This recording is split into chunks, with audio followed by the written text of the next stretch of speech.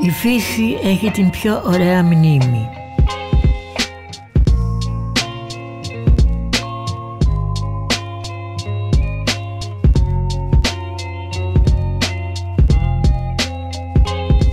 Η φύση έχει μια μνήμη με σύννεφα μπλάβα με κίτρινες προεκτάσεις του φεγγαριού στις λίγες αναμνήσεις που μου μένουν όταν υμνούσα το Σεπτέμβρη και από τα νερά τα γκρίζα, τα μαλαματένια του είχα δει να αναδύονται τα πιο ωραία σώματα της αγάπης μου.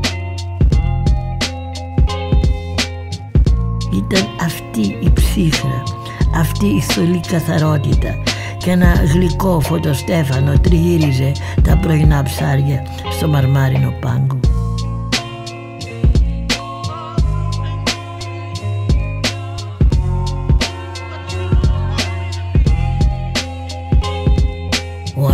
Ύφασμα με τέλεια εφαρμογή η μυρωδιά του Γιασέμιου λες και ήταν προσωπικό μου χάρισμα λες και με αφορούσε και μένα η ωραιότητα.